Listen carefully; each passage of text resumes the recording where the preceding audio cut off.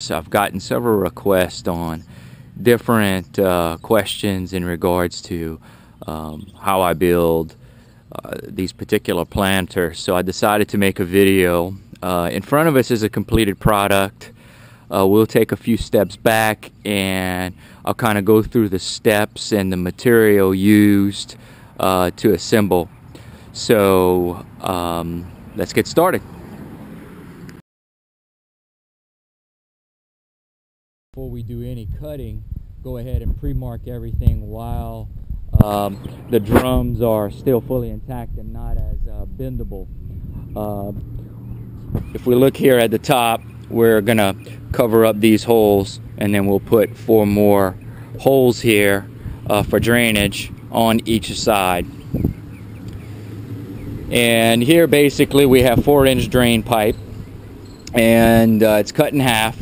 They came in 10 foot lengths, so each are uh, five feet long.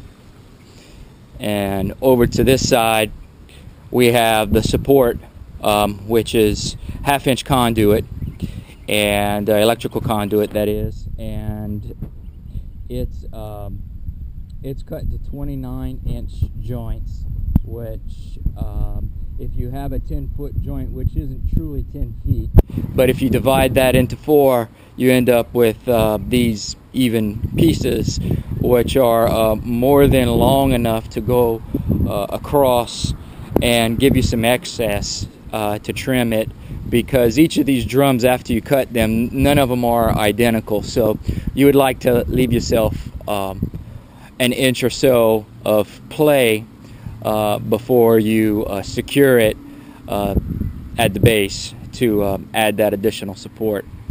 And over here um, we have the two tools that is basically needed. Um, we have a jigsaw with a metal cutting bit. Uh, more teeth on your, your bit uh, cuts to that plastic real easy. And a um, half inch unibit, which um, will basically uh, be a perfect fit without any trim at each of these crosses. And as you can see, we'll just rotate this. We have them staggered once we make this cut. Um, I would give you the dimensions, but each drum is different. So to avoid confusion, basically divide everything in half once you get your uh, circumference. Next step, we'll uh, show you the cut product and we'll begin assembly.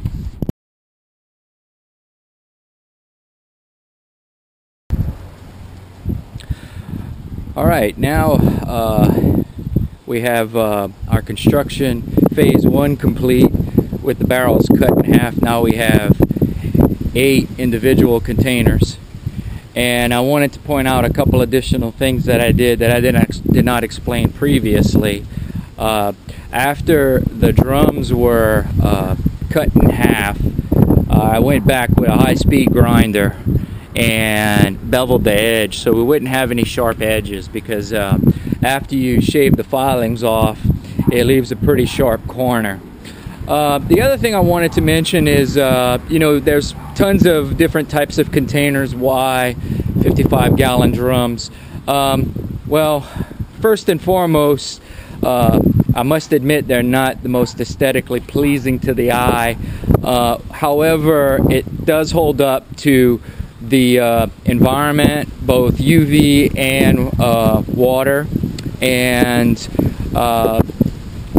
solely because of that, um, I use the 55 gallon drums. We want to take a, a closer look here inside. Uh, the drums have been cleaned multiple times. These particular drums came from a car wash, so all they did was house soap, but some house chemicals and whatnot, so you want to make sure your containers are nicely uh, cleaned with uh, detergent of some sort to get any of the chemicals out. Um, also in this phase, I went ahead and I installed caps. That's a total option. Um, I put caps on the uh, inch and a half conduit because um, I don't want any critters getting in the pipes. They'll go ahead and make nests and whatnot. So um, it's an extra expense uh, that's not necessary. You can uh, have something else to block it off. Uh, but once again, I just use the caps. Um, here's the caps for the other side. Uh, that's not installed. If we can come around, you'll see we have plenty of length to cut. Um, the other thing I did was I installed caps here on the 4 inch pipe. Um, and that's very important.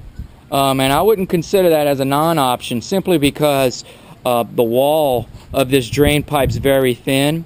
Once again, this is drain uh, grade PVC sewer pipe and uh, you could use a traditional schedule 40 PVC um, but I choose to use the, the thinner wall stuff uh, simply because it uh, it's easier to work with on the next phase um, we'll be installing the pipe uh, in the drum with the supports and we'll also be wrapping it with burlap for uh, the dragon fruit uh, vine to uh, adhere to as it grows up, the trellis. And uh, the other thing I want to point out with these caps, why I wouldn't consider it a, an option, it adds the additional thickness on this particular pipe. So this uh, this uh, thin wall sewer pipe, uh, it gets additional thickness, and we're gonna drill right through here a little bit later on to um, to uh, put the top umbrella support. So I'm to go ahead and uh, finish this next phase and then we'll run another video after.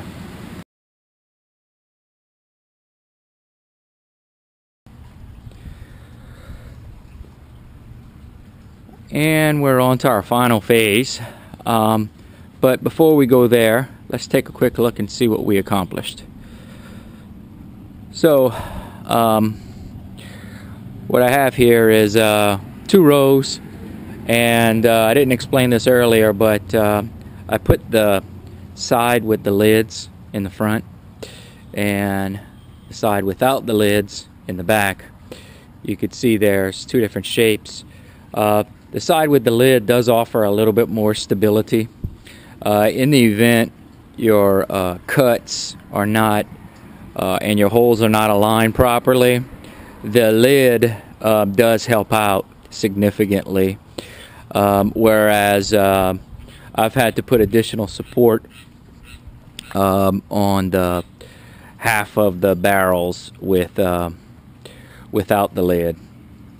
Uh, so let's take a closer look. Uh, these these two here are almost complete. Um, what I do in uh, my planters is I uh, fill about four inches with styrofoam in this case, I'm using styrofoam peanuts. Um, and I pack it tightly. And then I use a um, compost, typically a compost manure. Um, and I use it 100% and it works very well. Dragon fruit really love the compost material. And we'll come around here. Uh, I left a couple undone so you could see here inside exactly how the braces support. So what we did, uh, since uh, we looked last, is uh, all four ends now are terminated with a PVC cap. Um, you can see I had a template and I used it on all of the four inch pipes. I basically just slid the four inch pipe and uh, drew some lines and um, then I applied the template on top of it. It was real easy, just time consuming. And um, let's let's come around.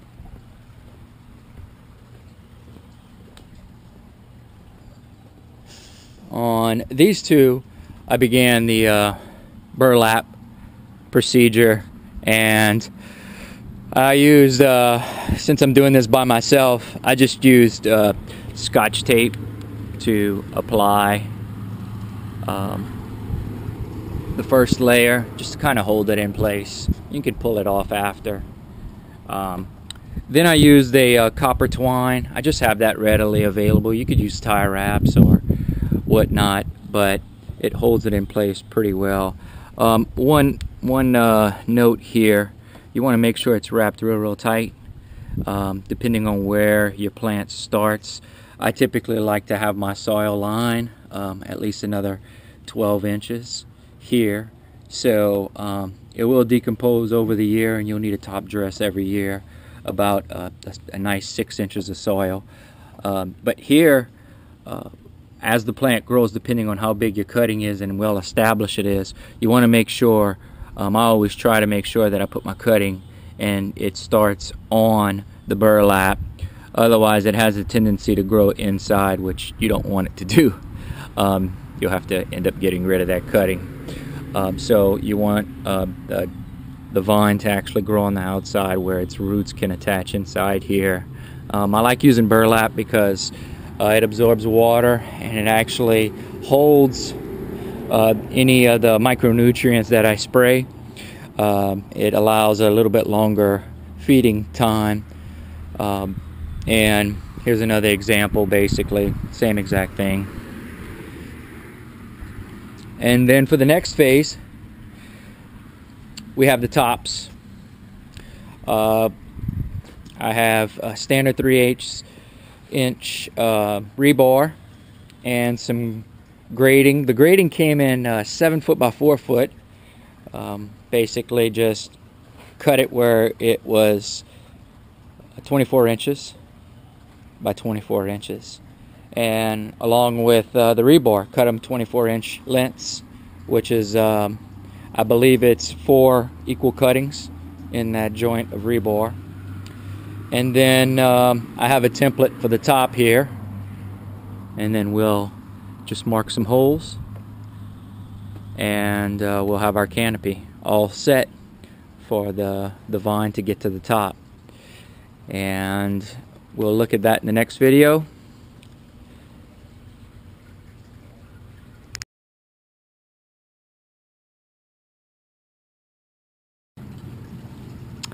And our tubs are complete now. And we'll take a closer look at the last step where we left off. We have our two foot rebar drilled across the top of the caps in a cross pattern with the wire mesh sitting on top uh, held in place with some outdoor rated tie wraps. And there is one other piece that um, I'm gonna start to install. I have put a variation of this. Um, I've seen in Thailand they use bicycle wheels uh, on, on, the top of the umbrella and uh, I've tried garden hoses and other types of rubber hoses that have worked fairly uh, fairly good. Um, but uh, because of the volume of planters I have I didn't know exactly what resource uh, I could uh, get some material to uh, to stick on top of these planters. And I've come up with this this is uh, electrical conduit, plastic, very lightweight. Um, it's cut to fit the, top and um, basically going to install a coupler here. And we're going to use some more of those UV rated tie wraps to hold this in place in the corners. And then that'll give um, the umbrella a little bit more support so when it rests, it rests on this cool plastic instead of this uh, hard wire mesh that tends to give the plant sunburn. Um, so it'll give uh, less opportunities for the plant to scar uh, to promote a, a healthier umbrella system. And uh, that, like I said, that's something fairly new that I'm going to try. And um, I'll let you know the results. Thank you for watching.